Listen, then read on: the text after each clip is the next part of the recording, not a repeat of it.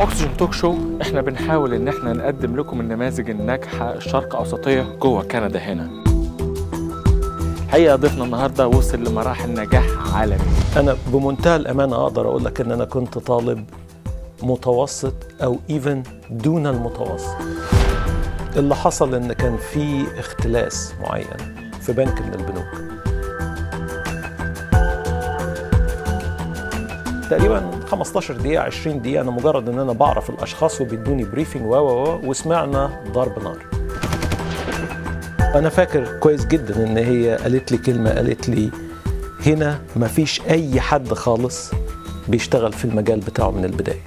وأكدتها كذا مرة يعني لدرجة إن عارف تحس بالإحباط.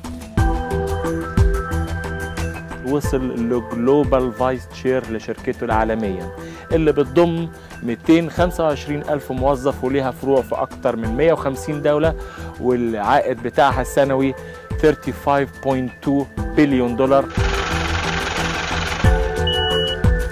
أنا أظن يعني إن كل السيفنجز اللي كانت معايا كانت أقل من 10000 دولار. أي حاجة ممكن إن إحنا نقدر نقدمها بالذات لمصر. دي ما فيهاش ما فيهاش كلام. ضيفنا النهارده اكسجين النهارده الأستاذ عادل ملك